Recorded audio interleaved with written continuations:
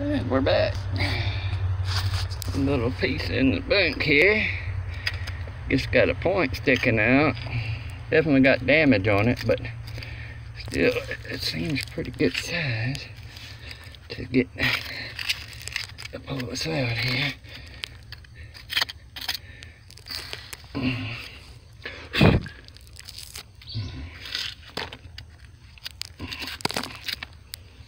Oh my goodness. Alright, let's get him out of here.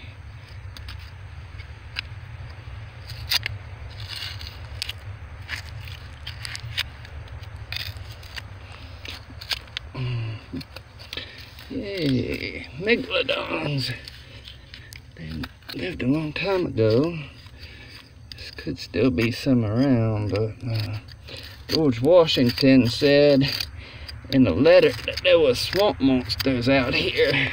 And I think he, this very ditch, he possibly saw one of these big, massive shark teeth and thought, swamp monster. George Washington was here. Look at that. Wow. Nice.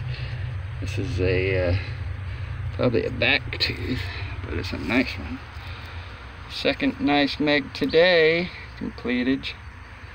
Yay. Happily camper today. Yay. Thank you, Lord. Hmm.